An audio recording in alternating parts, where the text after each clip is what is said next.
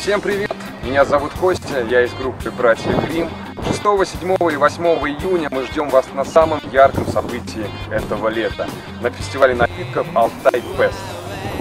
Место встречи – комплекс «Сибирское подворье», что в 5 километрах от э, курорта Филатури.